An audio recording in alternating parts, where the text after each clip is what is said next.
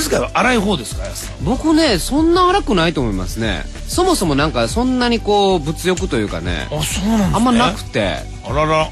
はい。昔からなんですけど。本当にそれが変わってないんですねあんまり学生の頃からも。そうですね。あら。あんまそういうがっついた感じじゃないってことですよね、はただ荒い子とね、まあ、もしも知り合ったり、そういう人が近くにいた場合にどうやってじゃあこの彼女の癖を直してあげればいいかってことですよ。いこのやっぱこう貯める喜びとか使わないことでのこう喜びみたいのをなんか見つけるとなんか。間違いなく今ロックンローラーの言葉じゃないですよね。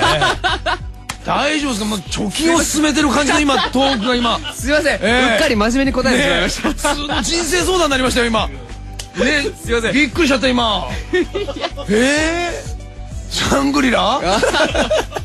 申し訳ない。ガチで言ってくれてますね、あのよくお家に500円玉入れられるカンカンとかっていう、はい。ああいうの置く派置かない派。俺今絶賛やってますからね。あれ？なんやったら。困った人になったこれ。あれどうすんですか？だからあれで溜まった後。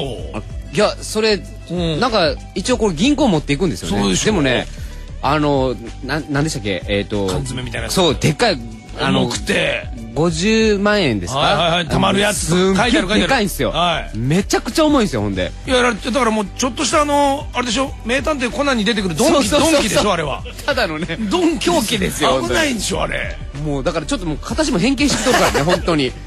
あんまり。入れすぎて。そうそうそう。行く時間もないから。そうそうそう。やってんだやっぱり。堅実ですよそこは。だまして小銭も溜まっちゃうからなんですよね結局ね。だから財布も傷んじゃうしみたいな感じで入れてるうちについて溜まると。ほんででもなんか僕の場合はそう500円がもらえるようにあのお金を渡しますからね。だから630円やったら1000円と130円渡すみたいな。お釣りの500円欲しくて欲しくてそのカンカンに入れたくて。入れたくてね。これもういつ何年前からやってるからっていうかもうそもうすごい前からやってるんで。ちょっとあ今手薄だよね今日安さんち警備が手薄です。500円玉貯金の缶がどこにありますか？あのあの上ですよねあそこです。あそこです、誰か 誰か缶開けろ。いや今だったらただ重いぞ。めちゃくちゃ重い重いぞ。本当に重たいです。か腰悪くするぞ。